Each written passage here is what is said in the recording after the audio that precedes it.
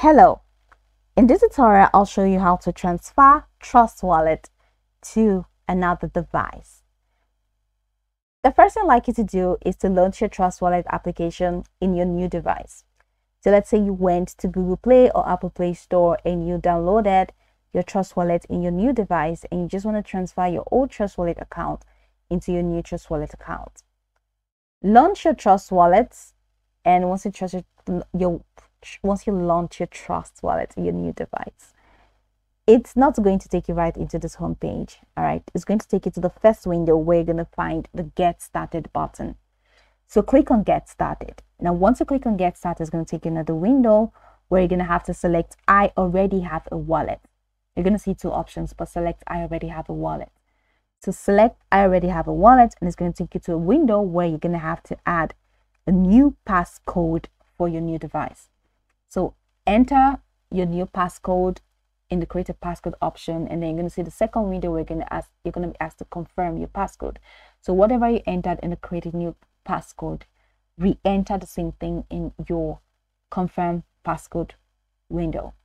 So once you click on that the next window is for you to you're going to see another option or a couple options in the next window. So select restore with secret phrase so once you click on that restore with secret phrase button, go ahead and click on multi-coin wallet. So after selecting multi-coin wallet, it's going to take you to a window where you're going to have to paste your phrase, your secret phrase. So ensure that you have um, copied your secret phrase in your wallet, in your Trust wallet from your old phone, you copied it somewhere. So in here, paste your secret phrase. And after pasting your secret phrase, you're going to see a button that says import. So click on that import button. After clicking that on that import button, you're going to see that your Trust Wallet data in your old phone is going to be added into your new phone. That way you'll be able to transfer your account in your old Trust Wallet uh, or your, your account in your Trust Wallet app from your old phone, be able to transfer it to your new phone in your new Trust Wallet application.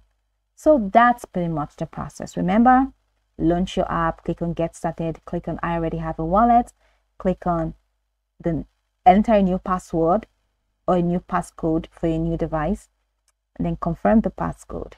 Then select restore with secret phrase. Once you click on that, tap on multi-coin wallet and then paste your secret phrase.